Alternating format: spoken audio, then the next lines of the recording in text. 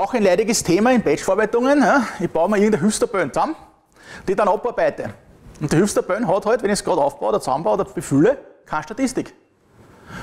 Erzeuge ich sie mit Creatable Select oder mit Insert into Select? Kann auch Insert Append sein, ist egal. Dann rechnet er Statistik beim Erzeugen mit, weil er hat die Daten ja eh schon in der Hand, er braucht ja nur mehr was machen. Die Daten, die er in der Hand hat, Mitrechner. Der Overhead, den er hat, ist marginal, paar Prozent gegenüber einer, einer Öfer, aber ich habe dann sofort eine gültige Statistik. Und ich kann danach Zugriffe darauf wieder sinnvoll agieren. Äh, Statistikberechnung selber. Ja, wer hat Datenbanken mit Tabellen im 100 Gigabyte Bereich? Keiner? Na doch, zwei, drei Hände. Was ist, wenn jetzt so eine große Tabelle eine Statistik braucht? Dann habe ich auf der Tabelle, wenn ich es entsprechend gestartet habe, mit Parallelisierung sehr wohl mit mehreren Prozessen Statistik gerechnet. Aber bei den Indizes nicht. Das heißt, solche Tabellen haben typischerweise noch mehr wie einen Index drauf, sagen wir mal 10, und das ist eh niedergeschätzt bei solchen Tabellen, meistens mehr. Dann hat er zwar die Tabellen relativ zügig Statistik gerechnet gehabt, aber für die Indizes, die er dann jeden einzeln gemacht hat, hat er viel länger gebraucht wie für die Tabellen. Jetzt ist Statistikrechner mehr parallelisiert. Das heißt, was macht er? Er sieht, er hat so eine große Tabelle, da kann jetzt mit Parallel, keine Ahnung, 8 drauf fahren, macht es parallel. Und dann geht er und sagt, okay, und da sind jetzt Hausnummer 10 Indizes drauf.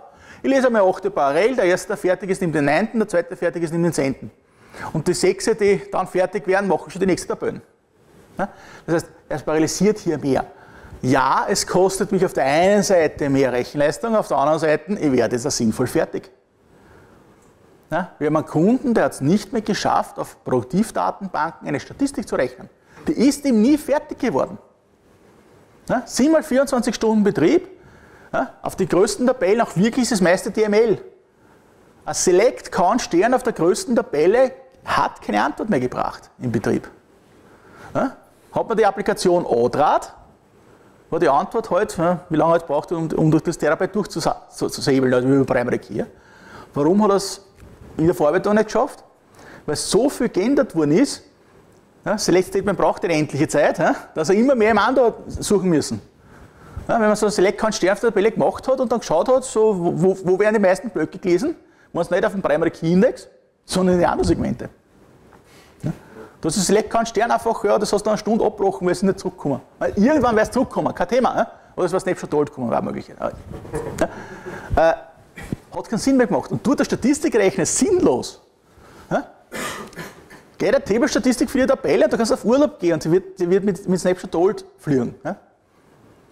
Was, machen, was haben die jetzt gemacht? Notgedrungen? Datenbank mit Storage-Mitteln geklont, auf dem Klon die Statistik gerechnet, exportiert, importiert. Ja? Jetzt mit der Möglichkeit, das zu parallelisieren, ist die Chance zumindest einmal größer, dass solche Leute das noch durchkriegen. Wird vielleicht auch nicht immer gehen, aber potenziell habe ich eher Chance, weil ich eben mit mehr Prozesse darauf arbeite und es wird in, ein, in einer schnell, äh, kürzeren Zeit fertig. Und er braucht immer das gleiche Ando für alle, die jetzt gleichzeitig lesen. Und ich brauche es jetzt 17.000 Mal. Halt, Entschuldigung, Moment, fertig. Äh, Enterprise pflichtig, weil Parallelisierung ist Enterprise. Aber in der Enterprise drin. Statistik für Global Temporary Tables. Auch so ein leidiges Thema. Ne? Wir verwenden Global Temporary Tables, um etwas zu merken. Zum Beispiel, äh, keine Ahnung, äh, Bestellungen von einem Kunden. Ja, um halt schneller nachschauen zu können. Jetzt hat der Kunde einmal was bestellt, steht auch nicht drin. Ein Kunde, der täglich zehnmal was bestellt, ne? in der IT nicht ungewöhnlich, wenn man beim Distribut Distributor für 10 Projekte 10 Mal was einzeln, also 10 Mal bestellt am Tag, äh, dann ist die Listen, die da in der Temporary Table kommt, vielleicht ein bisschen größer wie an der selten bestellt. Das heißt aber, egal, wenn ich eine Statistik auf der Temporary Table gemacht habe, sie war immer falsch. Weil der Statistikrechenjob hat natürlich was gemacht. Ich greife die Temporary Table an, wo ist sie generiert worden? In der Session, die das rechnet. Wenn es der automatische Job in der Nacht war, war die Temporary Table mit Sicherheit leer. Ja, das heißt, wenn man nachgeschaut hat bei Temporary Tables, die halt automatisch gerechnet wurden in der Nacht, war die Antwort immer, da ist nichts drin. Ja, was halt dann zu Full Table Scans, obwohl Indices drauf waren, geführt hat. Wenn man es manuell gerechnet hat, also mit, in meiner Session, dann hat er zwar das, was ich mein, mein Ding drin habe, genommen, hat das aber für alle abgespeichert. Das heißt, hat einer gerechnet, der gerade zwei Records drinstehen hat und der andere hat halt 200.000 Records drinstehen gehabt, dann passt es ja wieder nicht. Es, gab nur ein, es gibt nur eine Stelle in Oracle 11. Ich speichere Statistik für das Objekt, ist jetzt gültig. Das Neue ist, ich kann jetzt mit DBMS Stats in meiner Session, mit Scatter Table Stats, Statistik rechnen. Oracle kennt, ah, das ist ein Global Temporary Table.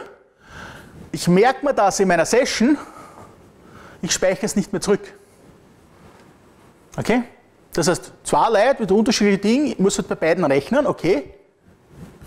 Passt.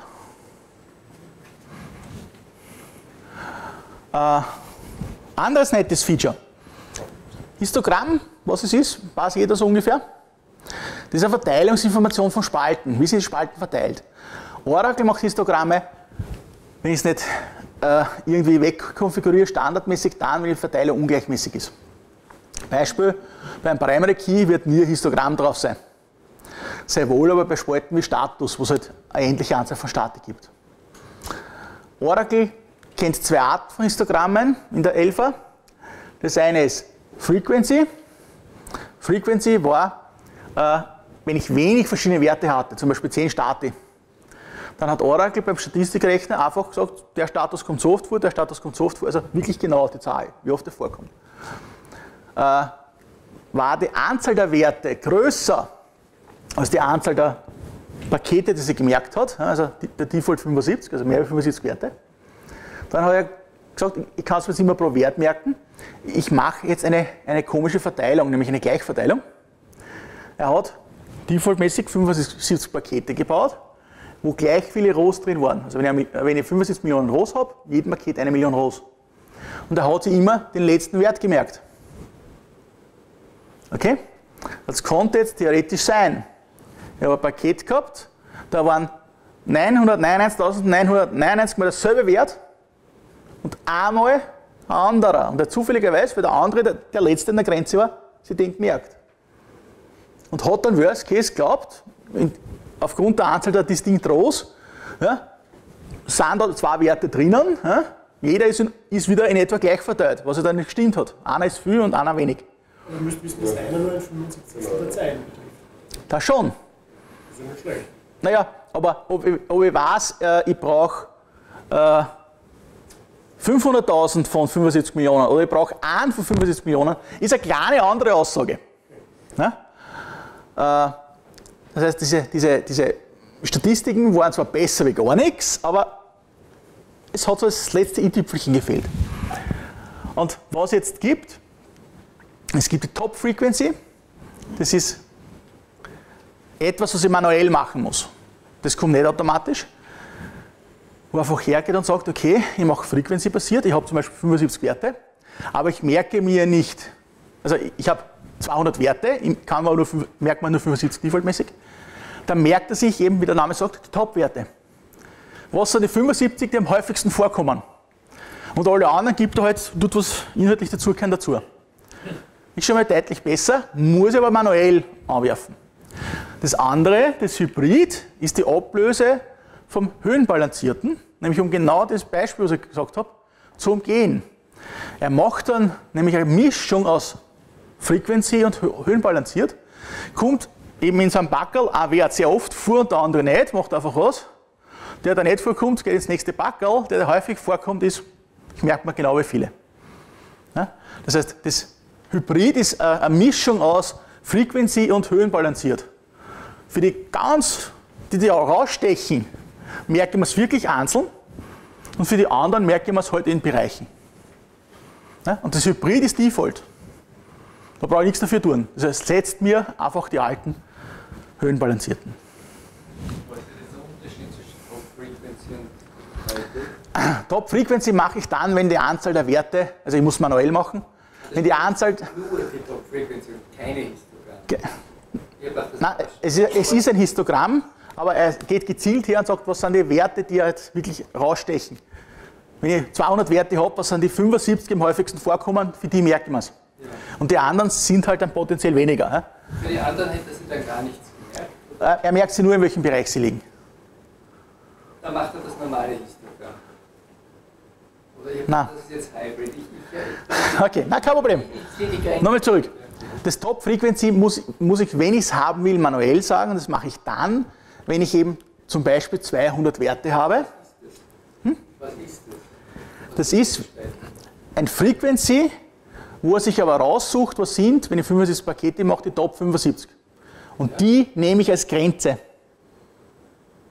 Ja? Das heißt, was ich da, äh, ein, äh, machen wir es von 1 bis 75. Ja? 1 kommt sehr selten vor, 2 häufig. Was wird passieren? Er merkt sich 2 und das 1 ist halt beim 2 dabei. Ja? Dann kommen halt 3, 4, 5, 6, 7 selten vor. Was hoffen kommt, ist 8. Man merkt, das ist für 8 wieder und sagt, 3 bis 5 sind in der 8 mit drinnen. Ja? Das heißt, er hat dann immer halt Wertebereiche und er weiß aber, was sind die Top-Werte. Und alle anderen weiß er dann im Umkehrschluss, ne? die sind eher selten. Ja? Wenn ich aber jetzt zum Beispiel 10.000 verschiedene Werte habe, dann würde ich mit der Top-Frequency einfach viel zu unscharf werden. Und da zieht dann quasi der Hybrid. Der Hybrid zieht eben dann, wenn ich typischerweise ein paar hundert bis viele tausend Werte habe, wo er dann einfach sagt, was sind daraus wieder die Tops und macht aber dann, versucht die Pakete einigermaßen gleich zu haben. Das heißt, wenn ich hintereinander drei Tops habe, kann schon sein, dass er zwei zusammenlegt wieder. Ja? Damit er eben in Summe gleich viele Pakete bekommt, also ähnlich viele äh, Daten in die Pakete bekommt. Das ist ein bisschen kompliziert, können wir aber gerne, wenn es genau interessiert, nachher besprechen.